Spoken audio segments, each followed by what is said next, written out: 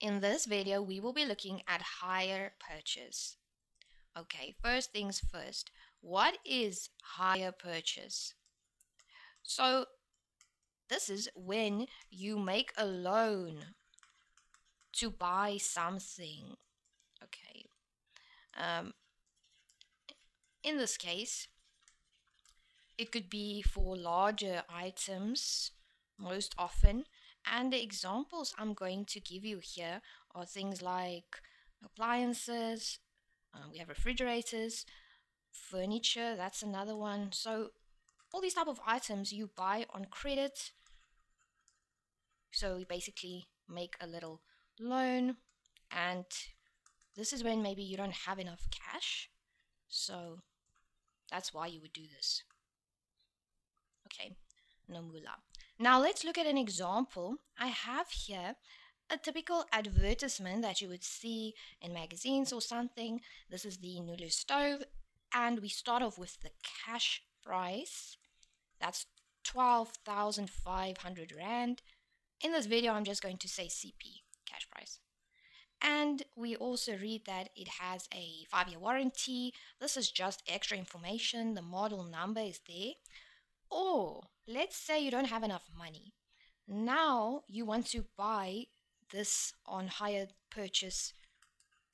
Okay, so you want to make a hire purchase agreement. And if you do that, you need to put down 10% deposit in the beginning. And this 10% is of the cash price. So that 10% of 12,500 Rand, you got to put it down. Then the remainder of the money, there you will see your interest rates. Uh, and the remainder of it will be kind of a loan that you have to pay back. The term is over 48 months. And just for interest sake, if I want to take that 48 months to years, how am I going to do that? Obviously divide by 12 because there are 12 months in a year. And that gives me a perfect number for years. All right, remember that. And then we have something that says, okay, um, your monthly payments is 356 Rand. So I'm going to write here, every month you have to pay a smaller amount back. And this is part of that loan that you made basically to pay it off. So you can either pay it with cash or you can use the hire purchase option, in which case you will actually be paying more. You pay more because obviously there's interest. And I also want to mention that this uses simple interest. If ever they ask you to work it out, determine it, you will use the sim simple interest method or formula. And unless they specify otherwise, unless they tell you, use compound interest. Right, this was just an overview. Let's go in and look at some typical questions that they could ask. Uh, that they could ask from these type of advertisements. Now, first things first, they almost always ask you to calculate the deposit. And if I want the deposit, it's basically just a percentage of something. In this case, the cash price. And of is times. So it's kind of a little formula, right? But you got it, it's 10%. Put it in your calculator times the cash, cash price, 12,500 Rand. And the answer here is 1250. Cool. That was an easy one. Moving on to the next guy. If now you buy this on the hire purchase agreement, they will ask you to determine or calculate the loan amount. So this guy is a biggie. Okay. If I want to determine the loan amount, keep in mind that in the beginning, I already paid the deposit. I put it down on the table, so the deposit is gone. Okay. And now when you remember that, you say, okay, what is the rest of the amount that I have to loan? That will then be the cash price, the full price, minus the deposit. So I already put down something and it cost 12,500 Rand, so what's left? That's the amount that I have to pay. And like, once again, you can kind of remember this as something that works for all questions, right? Okay, cool, let's do it. We have cash price 12,500 Rand minus the deposit, which we just worked out in the previous question, and your answer is 11,250 And I want to mention that questions, especially in MathLit, they always um, they are always in order. They follow each other. So you will use the answer in number one, in number two, and then the answer number two in number three. Please remember that. Most of the time, if you're stuck, just check and look at your previous question. Okay, cool. Continuing to number three, a common type of question will be the interest. So, how much interest will you pay? Obviously, on the hire purchase agreement. Interest can be determined in two ways, but here we remember that if I want to determine simple interest, quick and easy, right? Without even a little formula, I just remember that I have an amount, in my case, the loan amount, and I have to add that percentage, which they say is 13%, right? And you remember that. I have to add the percentage, so I multiply it. And then the only thing extra is to remember that there is a time. Okay?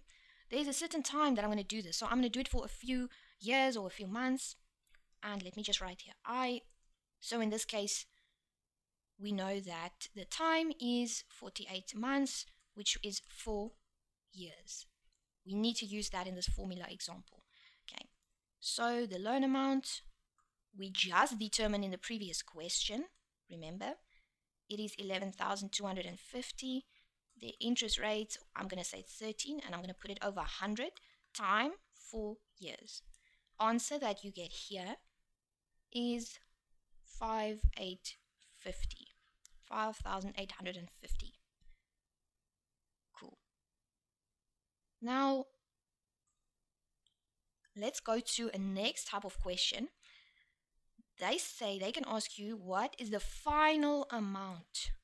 So this is a this is a biggie. The final amount.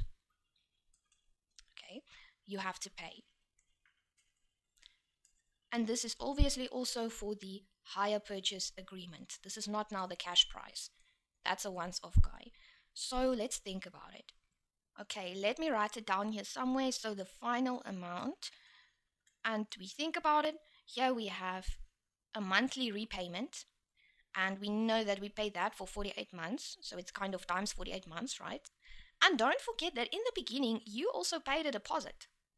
And in total, that is all you paid. So we have the monthly repayments times the months, right? Because you paid it for 48 months. And just in final to add the deposit, right? and that would be in our case if I just put it in 356,25 times 48 and plus the deposit we determined in the previous answer which is 1250 so I'm just going to add that 1250 and you get your answer 18,350 I do want to mention that there are other ways to determine the final amount for example, when you add the interest to the loan amount and the deposit, so there are other ways, you will get the same answer. But it's easier to just remember one or two things.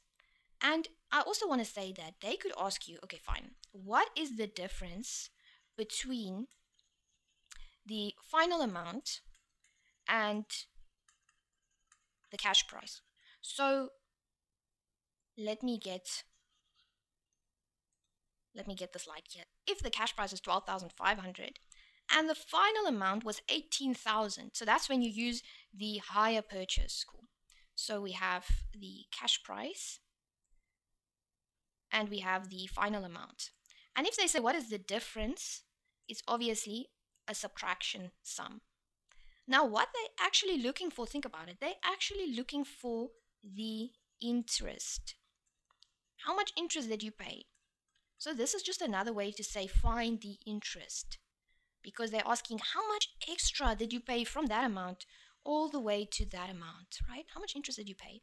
And you can work it out. You will get an answer of uh, 18,350 minus the cash price and it'll give you 5,850. Something we already determined in a previous question. Cool.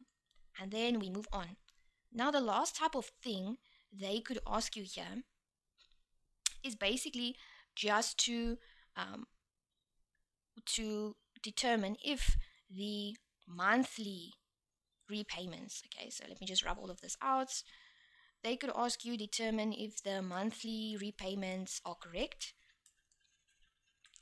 Was it calculated correctly? There we go. Is it really 356 rand and if ever you want to determine this this is basically like calculating monthly repayments let's think about it you obviously have to get the total amount that you paid and then divide it by the number of months. Why? Because if I know I pay 10,000 Rand, I have to pay 10,000 Rand, I divide it by the number of, let's say, 12 months, then I know how much I can pay per month. Think about it like that. Okay, how do we get the total in this case? Think about you had the loan amount, and don't forget about it, you also had the interest. When you added those two, that's kind of the total that you paid back. Forget about the deposit. The deposit is already gone. Forget about the deposit. And the number of months. So quickly put it in. Uh, substitute the loan amount is uh, 11,250. The interest we determined previously, it was 5850. The number of months, 48 months. And you got an answer of 356,25. So the monthly repayments was calculated correctly. Every month you pay this amount for 48 months, and in total that gave you the loan amount and the interest together. Okay, that's the end of this video. And remember to share, like, subscribe, and become part of the Whiteboard SA team.